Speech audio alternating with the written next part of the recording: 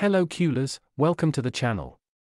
Recently, I informed you about a report from Gerard Romero that Messi is in Barcelona with his family, representatives, and 15 bags. Today, I have a new report revealing the reason behind it. Before we proceed, please drop a like on the video, subscribe to the channel, and turn on all notifications so that you don't miss any of the updates. Now, let's get into the video.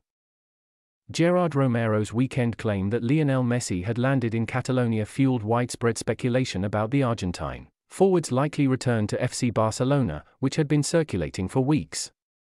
A recent report from Sport, however, suggests that Messi's visit to Barcelona has nothing to do with a prospective summer transfer.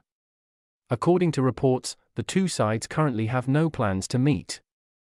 This past weekend, Messi allegedly traveled to Barcelona with his whole family and a large entourage. The fact that the 35 year old was said to have brought a lot of baggage with him further fueled speculation that he might return over the summer. However, Messi's visit to Barcelona isn't connected to the transfer rumours, according to the source. Messi is, instead, taking advantage of his time off by relaxing with his family in Castelldefels. As their next game isn't until Sunday, PSG's players are free until Wednesday after playing on Friday night last week and it's been said that Messi's only purpose for visiting Barcelona is to meet with his loved ones.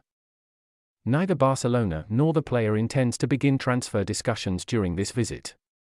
Behind the scenes, though, the Blaugrana are trying to re sign their former skipper. The club has presented La Liga with its economic viability plan, and is waiting for approval before making a formal contract offer to the 2022 FIFA World Cup champion. That's all I have in this video.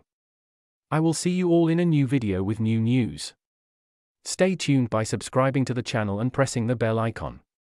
Visca El Barça